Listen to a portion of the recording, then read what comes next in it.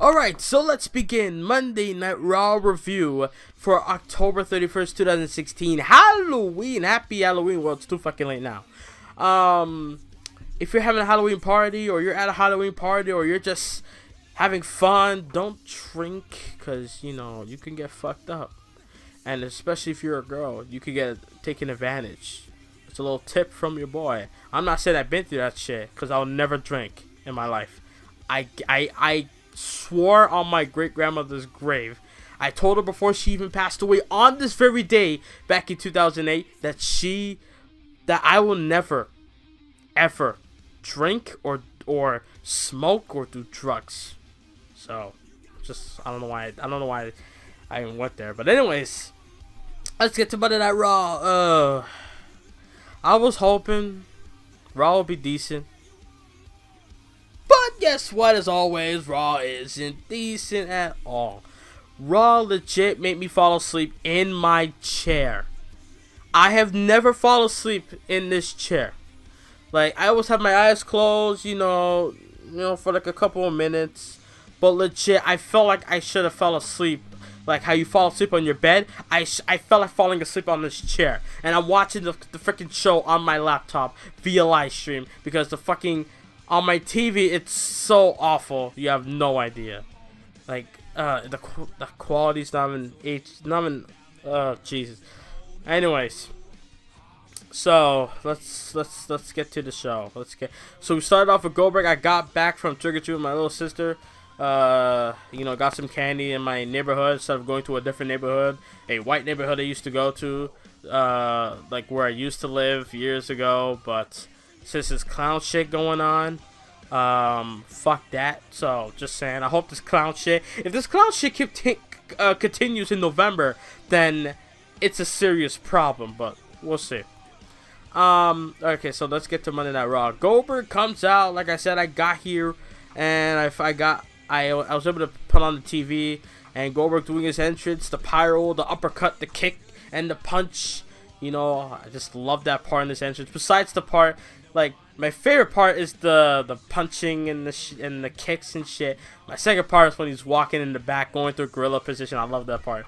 And uh, I'm like, just saying, I'm like, play his WWE music, you fucking assholes.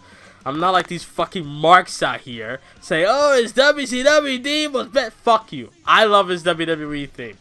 Alright? I'm the guy that can sit here and say, my favorite feud is Cena versus Orton. Also, my favorite Goldberg music is the WWE version. And also, I can sit here and say, I love the, well, that one match that everyone, oh, I love the Goldberg versus Brock Lesnar WrestleMania 20 match. And the Triple H versus Randy Orton match. And at WrestleMania 25, and a lot more that people don't like that I fucking like because I'm not like these fucking marks. Alright, so not joking around. Goldberg comes out and he basically says, Look, man, Brock Lesnar, me and you were gonna go at it at Survivor Series, and then Paul Heyman comes out. Paul Heyman's, you know, telling the fans, "Look, man, you're pissing me off that you that you're chanting this bald fuck's name. Okay, stop chanting his name. All right, chant Brock Lesnar or Suplex City or whatever the fuck you chant, right?" And then Goldberg's like, "Come on, yeah, chant, chant my name, Goldberg, Goldberg." So with that going on, you know, Heyman gets in the ring. Heyman even said it himself. He what, he, what he's getting in the ring, he's talking, and he's like, "Why am I even doing this? Like, what? What? Something's controlling me. Why am I getting in the ring?" I'm like, "Yeah, Paul Heyman. Why are you? What are you getting in the ring? The man took off his jacket. You're gonna get fucked. No loop. You're gonna get fucked, right?" So he, so Paul Heyman's walking up, talking shit about his son, saying how his son's gonna watch him fail and be victimized, beaten, conquered by Brock. And then Goldberg was starting to walk up slowly and slowly and slowly. And Paul Heyman's like, I'm just an advocate, man. I'm just an advocate, please. I'm just, and then Rusev Rutia. Rusev Machka. Like, Rusev comes out, I'm like, what? What? Rusev? And then Rusev's like, yeah, Brock Lesnar's not here. You know, it's funny how Goldberg's talking shit about someone that's not even here. Brock Lesnar is not here, you fucking marks. Alright? Rusev saying that how he hates weak people, what he does to weak people, and he he, he crushes them, and then he punches Goldberg. Goldberg's like, okay, well, that was a nice shot. Let's see how I like these knee lifts though. Now yes, Goldberg did slip, but the commentators kind of saved him. He's like, you know, the oh Rusev tried to fight back, even though Rusev didn't really try to fight back at all. But like he Goldberg slipped and then he got back up, knee lifts, knee lifts, and then the jack plus the hammer equals jackhammer for Rusev. Rusev received that jackhammer for his trouble. And then Goldberg doing the showboat thing, you know, nah, nah, shit. And after he looks at Paul Heyman's like, oh shit, this fat fuck's still here. Hmm. What, what, what should I do? Hmm. Let me please these fucking marks. And then after he hits the rope, spear! He spears Paul Heyman. And that's it. Brock Lesnar came out, that would have been the best moment where Brock Lesnar like rips it, like like you know how the the the brawl that Taker and Brock had last year on Raw, right? Like how Lesnar ripped it to the ring. Like imagine he did that for him and uh, uh for him and Goldberg. Yo, that would have been the sickest thing. But I get WWE. It's best that you save the uh, the fact that these two are gonna have a match and they're gonna be interacting with each other in the ring soon. So it might as well just keep that under wraps. So after that, we had. Uh, hold on, before I before I get to that, uh, we how do we go from Goldberg spearing Heyman and Jack hammering or Jack hammering Rusev in the ring? We go from that to a trick or what was it? What was it? No, oh, well, sorry, tree. What, what was it? Trick or street fight or tree or street? I don't fucking know. Tree or Street Fight. I think that was what it was called, right? Enzo Amore and Big Cass, who did an awesome promo about Toy Story. Now I'm thinking, okay, I like this. But it's gonna get ruined because this match is gonna take forever. It's gonna go through like a dozen commercial breaks, and then it's gonna end with Big Cass and Carl Anderson get involved. Anderson goes through a table with pie in his face. I'm pretty sure The Rock is somewhere smiling because of that. And then after that, Enzo Amore with the DDG, and then one, two, three, and he gets the win.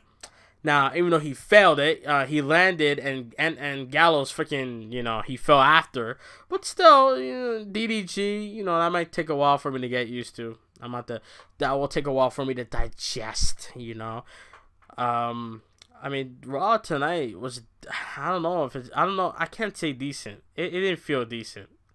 It was like uh, I, I'm gonna say questionable because I can't really say it was god awful. Exact. Uh, uh fuck it. I can't.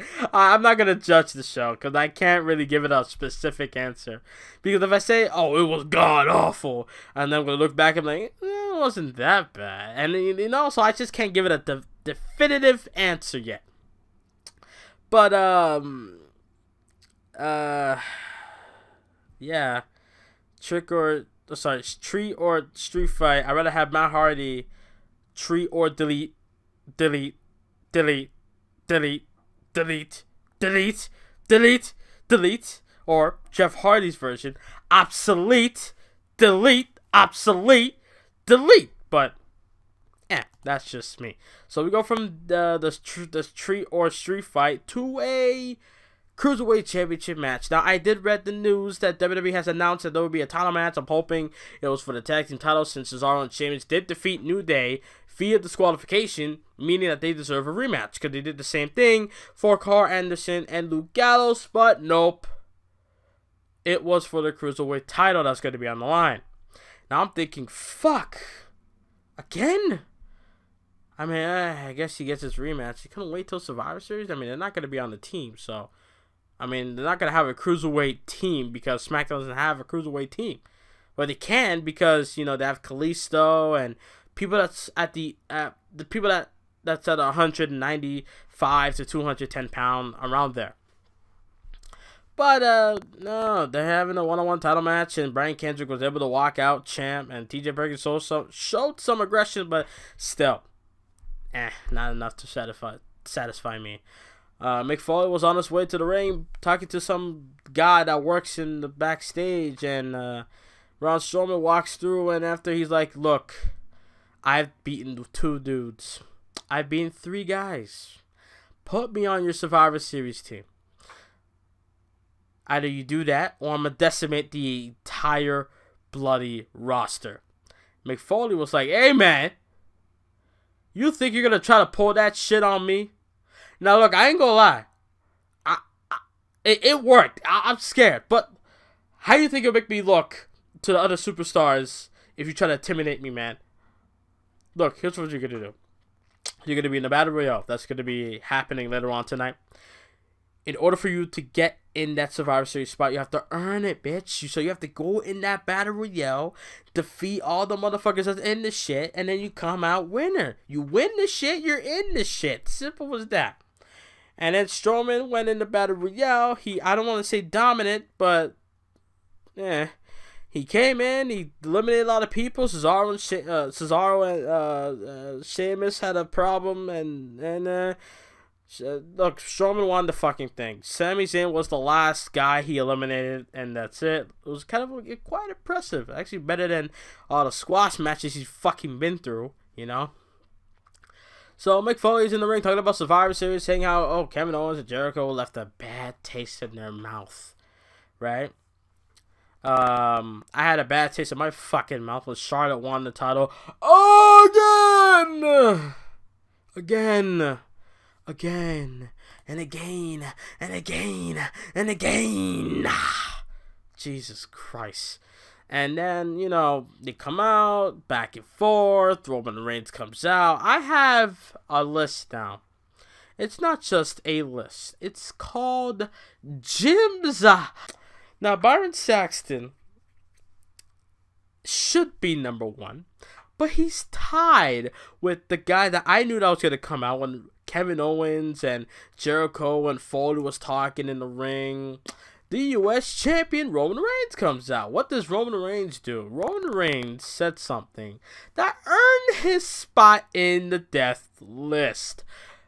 Roman Reigns said, I quote, We got SpongeBob SquarePants and we got his best friend Patrick.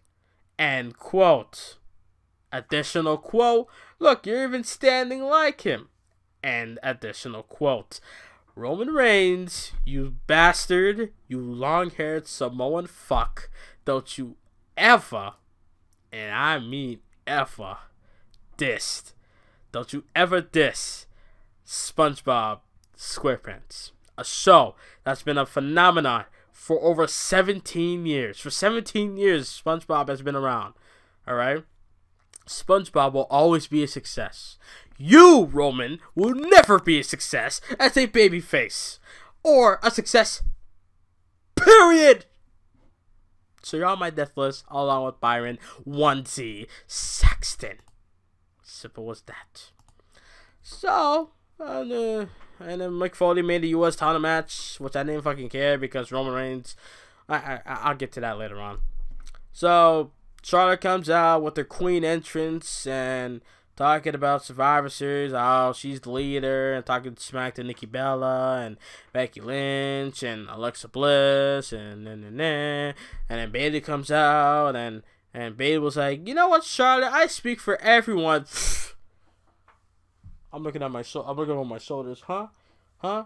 Oh, everyone, not me, not me, it, everyone but me. How about that? You're speaking for everyone but Jim. That that they're sick and tired of hearing Charlotte speak. Ah, uh, uh no. You should change the name from Charlotte to Sasha because I can't stand Sasha when she speaks about Eddie, the women's revolution, and kids, and history, and blah blah blah, and blah blah blah, and blah blah blah, kill myself, hang myself, fucking shit. Like, I I just can't take it anymore. All right. All right. All right. So you know what, Sasha, for all that, all those times you you you're talking about Roman's revolution and first time ever and making history. Guess what? Your promos Just made the death list, alright? You're number three, Sasha, on the death list. Because of your promos. Not because of your wrestling ability, because of your wrestling promos. Suppose that. Alright. Thank you, Bayley, for uh, reminding me of that. Bayley fought Nia Jax. Nia Jax beat Bayley. Ba- uh, Nia Jax got revenge on Bayley for beating her back at NXT Takeover London back in December of last year. There you go. Um, Byron Saxton wearing a onesie, while Charlotte, the Queen, the beautiful Queen, sitting at commentary. I am glad we have Corey Graves there. Michael Cole being the fucking just being the old guy with young people. And we got Byron Saxton, the one dude that he has something good, but everyone still hates him. Uh, he has a good smile, like everyone else says, but smiles will not get you anywhere, alright? Smiles will not get you nowhere. Ask Shawn Michaels when he lost it back in 96, okay? Um, yeah, or 97, whichever the fuck. Cesaro and Sheamus had another match later on, in a tag team match. Did anyone care? I was hoping for the tag team titles would be on the line.